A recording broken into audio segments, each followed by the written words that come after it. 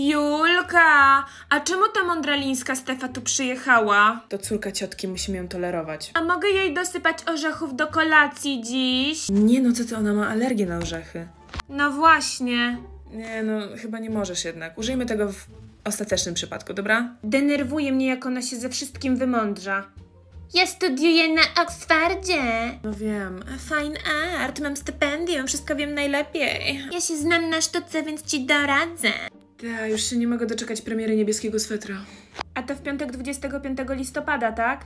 Tak. To będzie ta piosenka o Staśku?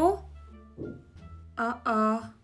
Przecież ona ma nadal obsesję na jego punkcie. No to co mam zrobić? Przecież nie zmienię tej piosenki. Orzechy! Kinia.